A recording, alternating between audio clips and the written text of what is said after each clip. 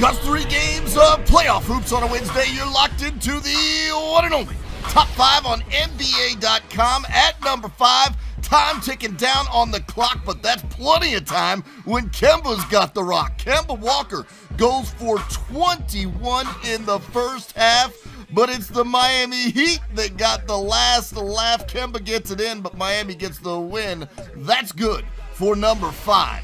On to number four. We haven't been able to say it much this year, but it's CP3 to BG for LAC on this rim spree. Blake Griffin is lifting again as the Clippers get the win. To Cleveland for number three. LeBron goes with the lefty sling, and Kevin Love hits nothing but strings. Watch LeBron again, a little late no look action there with the southpaw.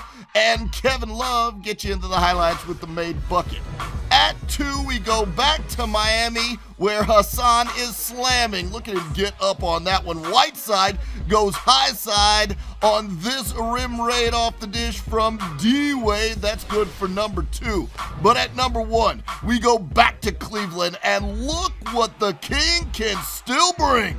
Reggie Bullock suffers a dislocated soul as LeBron rocks the goal. And once again, the King lands at number one on the NBA.com. Top.